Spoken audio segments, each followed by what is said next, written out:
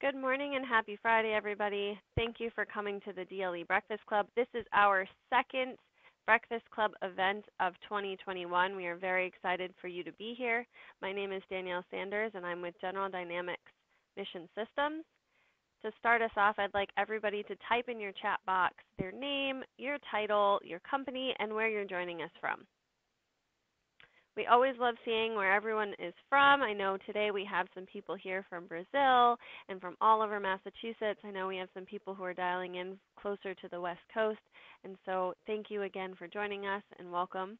We're very excited for our program today. A quick review of our ground rules please keep yourself on mute when you're not talking. Utilize the chat feature. We often have some great conversations that start in there. And whenever you do talk or come off mute today, please state your name and company when we open up for questions and exchanges. And with that, I'd like to start by introducing our speaker today. Carol Chiavetta has 25 years experience in the entertainment industry as a strategic marketer. She's based out of Northampton, Massachusetts, with her strengths and leadership in identifying, developing, and, and advancing diverse top talent. During her 10 years leadership role as Chief Marketing Officer at Blue Man Productions, Carol ushered this iconic brand into a new 360 marketing campaign that fueled global expansion. She created a digital footprint, put blue chip brand partnerships in place, and launched her new operations in North America, Europe, Asia, and Australia. Her career portfolio oozes with achievement as a strategic advisor and interim marketing executive who defined and advanced the images of eminent brands such as M&M, MasterCard, Travelocity, Visa, BMW, American Express, Absolut, and more. As the executive director of domestic, domestic marketing for Disney Theatrical Productions, Carol was the creator of the Disney on Broadway campaign that continues to fuel the success of this business. Please help me in welcoming Carol to the stage as she talks about virtual public speaking and leadership in times of COVID 19. Paradigm. So I went and I polled 15 leaders in my industry president, uh, executive director of the Public Theater, the SVP at Disney Theatrical, made people who own companies, and said, How has your leadership style changed in 2020? And you know, surprisingly, I thought, I for, surprisingly because they were all so busy. A lot of them wrote books on, sent me these long emails. They like really thought about it.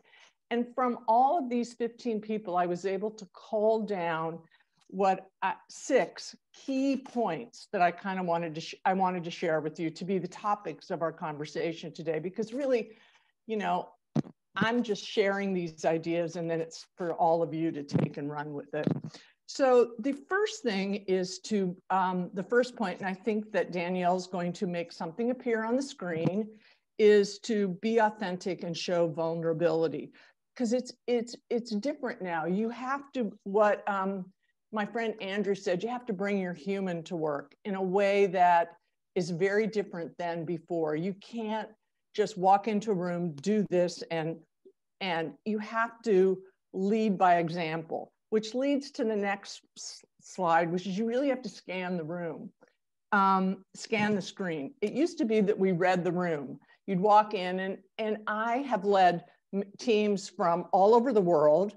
I've had conference calls with, you know, 60 people, all different languages on the phone and virtually. And it's very difficult to go, okay, what are they saying over there? But now that we're on a screen, you have to really scan it. And I've been in a lot of groups where I can see someone's retreating and that I need to pull them out.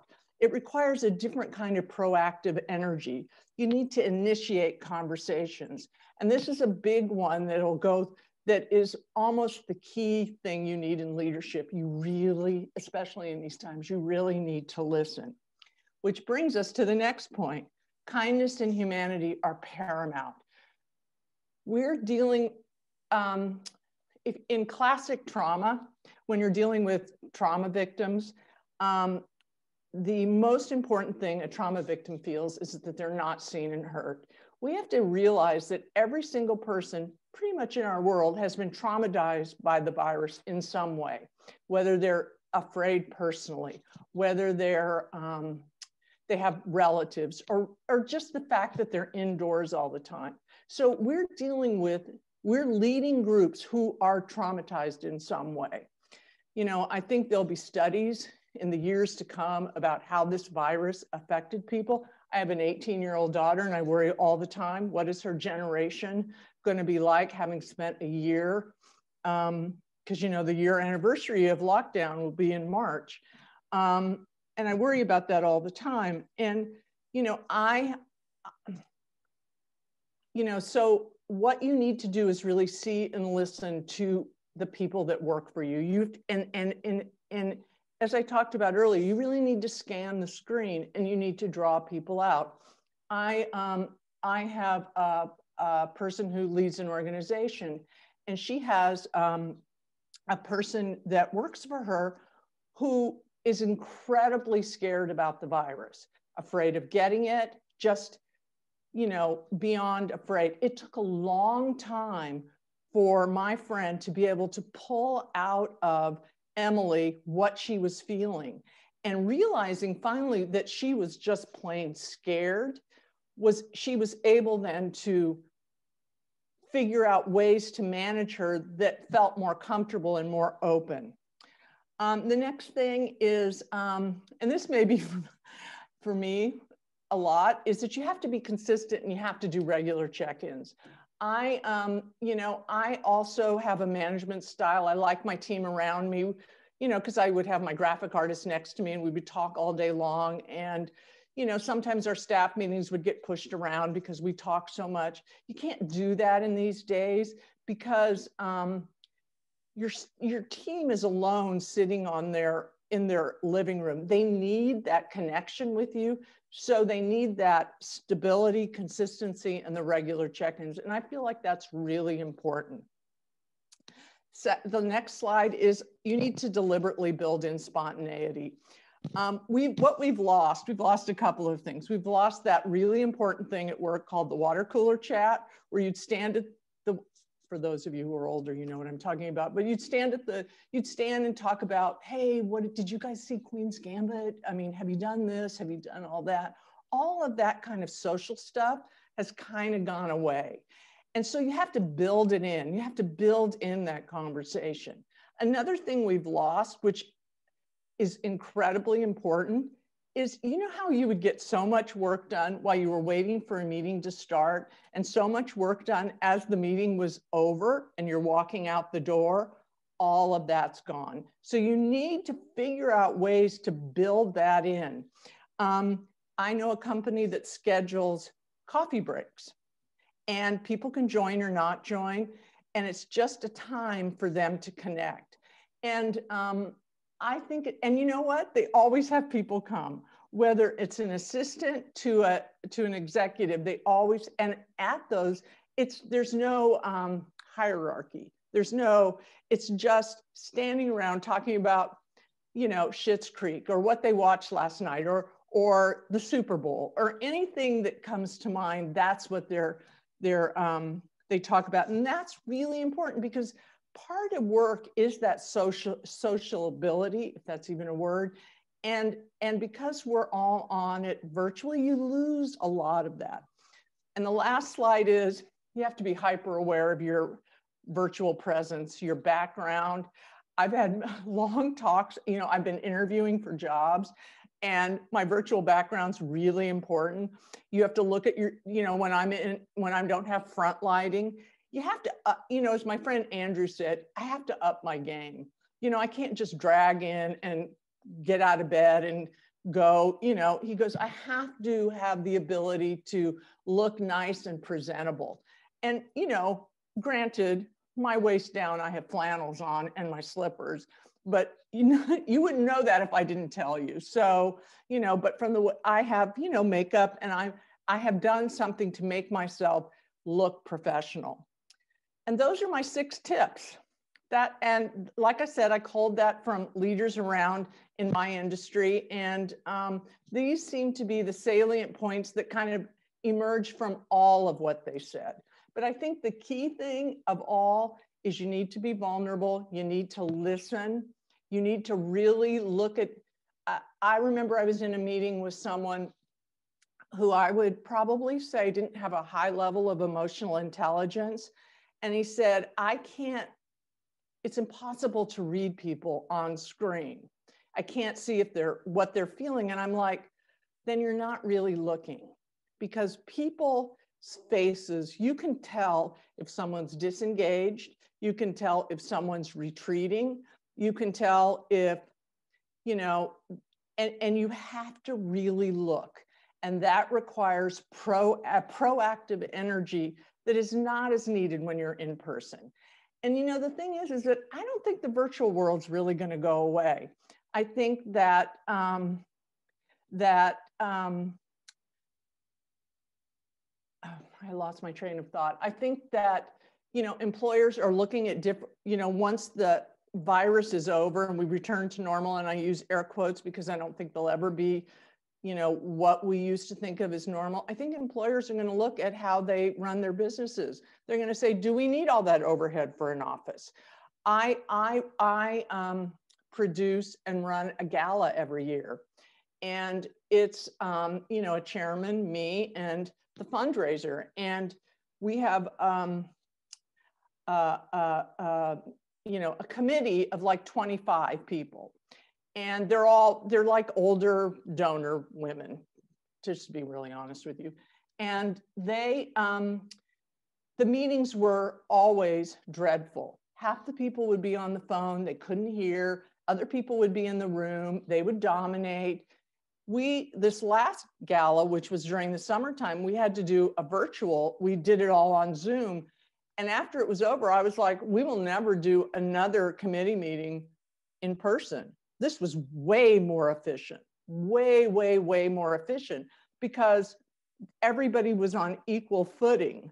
Do you know? Because the people on the phone, they're like, this is what they're doing. I can't hear you, you know, and and so it was a much more efficient way to run the meeting. So, so I'd like to um, reconvene with a mini round robin. And the theme is what is the one thing you're going to do today? Out of everything that you've learned, what is the one thing that you can change and start on today? So I'm going to look at um, the participant list because I know some people may move around on me. Um, and the first thing I want to take away is Katie shared some really great advice about moving from room to room. And I am definitely going to start moving myself. I'm in the same spot every day. And you pointed that out to me. So I'm going to take an action to start changing my environment and being aware of my surroundings. Um, let's see. Cheryl, would you like to share? Hi, Kaylee. Thank you. Um, I guess one thing that I would take away from this um, is what would focus on the the authenticity that is needed um, in a virtual environment.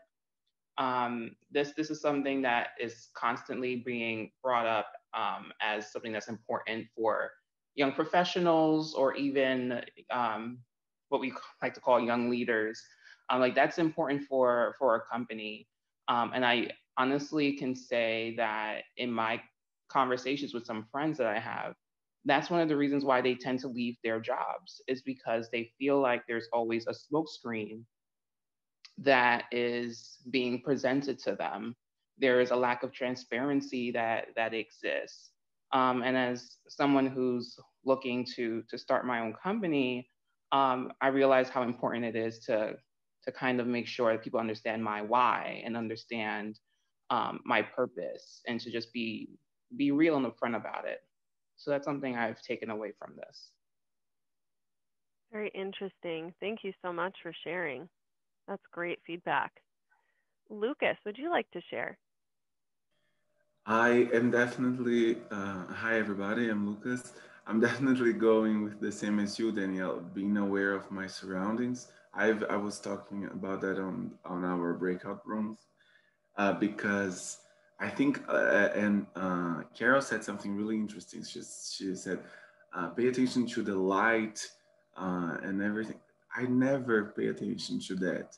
I do think a lot about being vulnerable and showing my humane uh, side on meetings and everything, being expressive, but I never think about the lighting, the environment, or I don't wear makeup, so I never think about that too.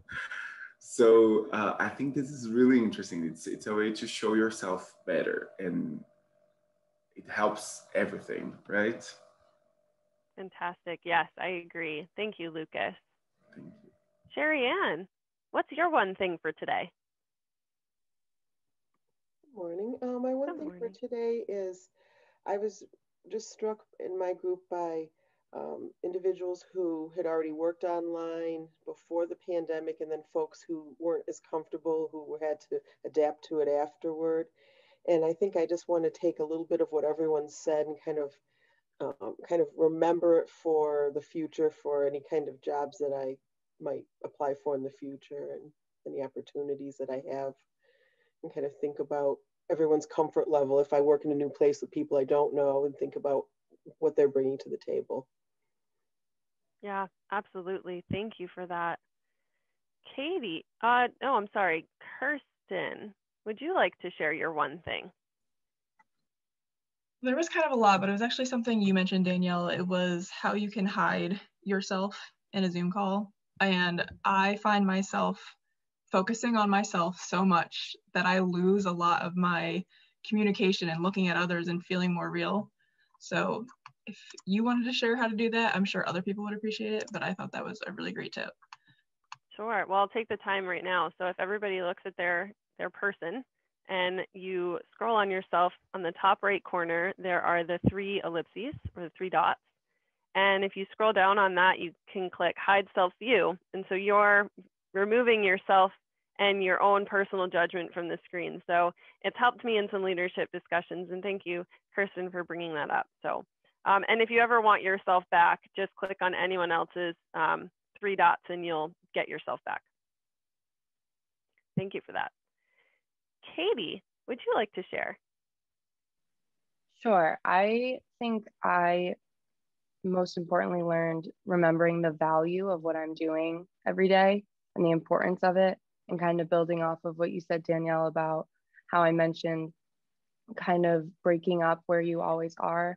I focused on talking about how whether you're in a very small meeting or maybe a very big meeting, you're often always in the same space, and that can hinder how you are interacting and your professionalism. And I think it's important just to kind of reflect every now and then. Maybe you can't always change your location in your space, and that's okay, but just to remind yourself, hey, I'm going into a more important meeting or um, a more casual setting and how to react in those different um, settings, even though you're maybe in the same physical setting. Yeah, absolutely. That's something that I know myself I'll be taking on and, and re-looking at because I feel it. I haven't moved all day, right? Um, so that's gonna be that's been tough. Kate, would you like to share? What's your one thing? Yeah, hey, I'm Kate. Um, so probably again on like the screen type deal, right? So one of the things that we were talking about is how you really should be looking at your camera and trying to scan the screen at the same time. So I said I was going to go to Five Below and buy some stickers and like a little faces and put them up near my my camera and maybe like one an arrow saying you know look here or something you mm-hmm. know. So I would have that constant reminder to you know start looking up at the camera rather than you know at all all of you all the time. Doesn't mean I don't want to scan, but more often up top. So. Fantastic. Thank you. Julia, what's your one thing? Well, let me just add, Kate, that's I you don't need to go to five below. You can just put a little um, anything there. I have a smiley face there next to it, and it's something I recommend to all clients who are going into interviews. Very important. Um, for myself, just so I don't lead a group, but I see all my clients online. And this week, essentially, I had a couple of people reach out and just like, oh, could you just look at this document? And I was tempted to say, okay, I'll do that. We don't need to meet. And today reminds me, oh, no, it absolutely needs to start with a, a, a call in which I can we can all figure each other out before we actually start the work. as opposed to starting the work and then discovering that the that the base is not there and what now, right? So great, great reminder. Per perfect timing too. Fantastic. That is a great reminder. Thank you, Julia. Jonathan, good morning. Would you like to tell us your one thing today? Sure, my one thing, and I, of course, did my graduate degree online, so I have a lot of experience with this environment. So, my one thing for today is to we just need to take everything day by day and learn to grow and adapt to this new technology.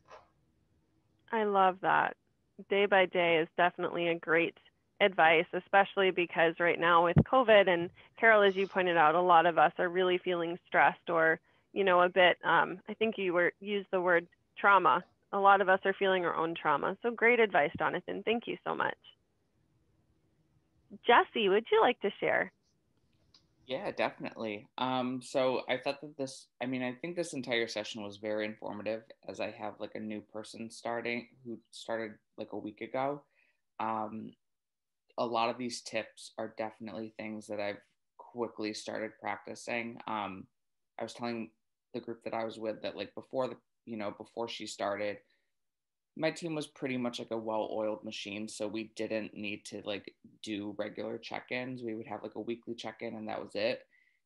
I find so much value out of just meeting for 30 minutes every morning with my new hire because one it's helping get to know her a little bit more because we really don't need to talk too much about the day ahead like for 30 minutes. So it's like 15 minutes of talking about what's the you know day ahead what do i need like do we need to get done but then it's a lot of just like checking in like what did you do last night? Like did you do anything fun over the weekend? You know stuff like that and so it's really nice because um it's been you know really insightful and she's actually already like sent me feedback being like i really like these morning sessions because they're definitely informative. I feel like i have an idea of like what i'm doing today etc so.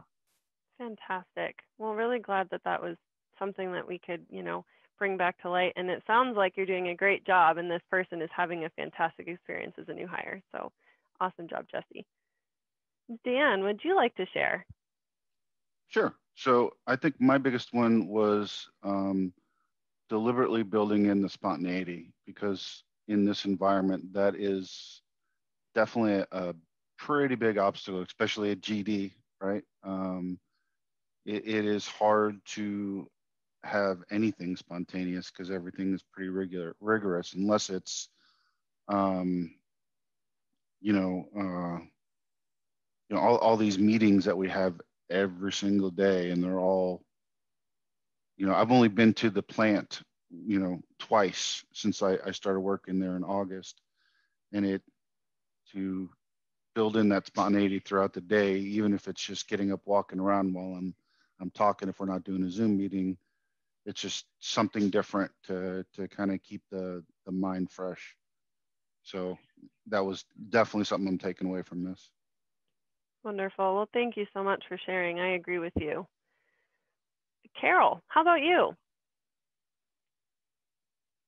Um, well, I just want to say a few things. One, front light is your friend. Remember that always.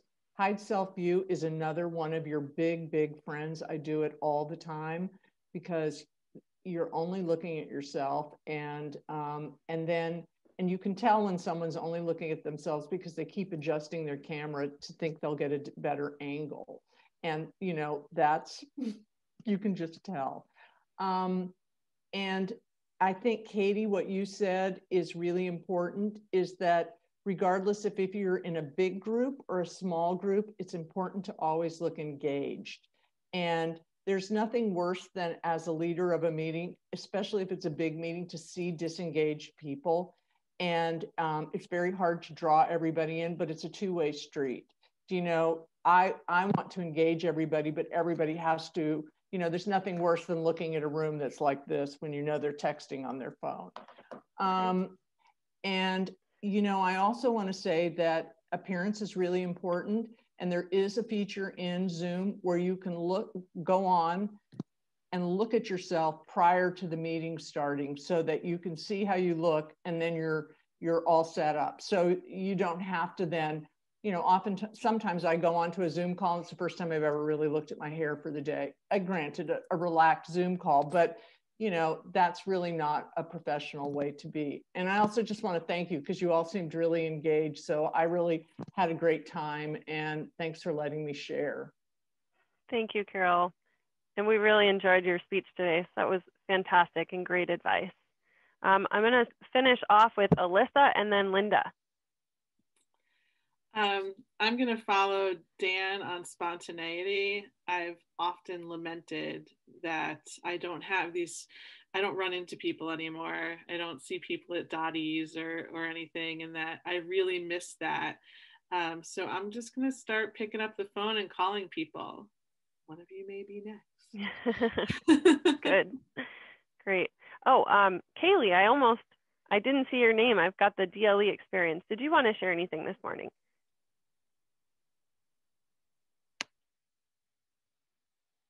That may actually be Marcus. Oh. Okay. Maybe it is Marcus. me, but I'm I'm traveling to work, so oh. I can't speak. Too, probably too loud right now. no worries. Well, thanks for joining us, Marcus. And so, Linda, I'd like to turn the stage back over to you and hear your one takeaway today. Well, I had many. By the way, the head self view was huge. Uh, I, huge discovery, as I said. Um, but Katie, you, you really enlightened me about, and I wrote down, it's called the same place malaise. And it's the Zoom monotony of, of, of being sedentary with the same setting every day. And that mentally just really does play with you. Even maybe you have to change your shirt or your or your sweater consciously for the next meeting just to think maybe I'm in a different setting in a different room. And maybe you have to go through that deliberate and and Dan deliberate is the right word. Um, I have a training program that I started uh, inspired by Zoom called conscious connectivity. And it's really helping managers deliberately building in every day methods and strategies for making small to big connections with their team members.